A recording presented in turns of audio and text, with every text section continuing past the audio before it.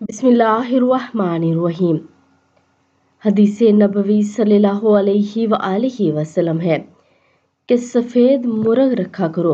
रसोल्ला सल्लल्लाहु अलैहि व आलिहि वसल्लम ने इरशाद फरमाया कि सफ़ेद मुर्ग रखा करो।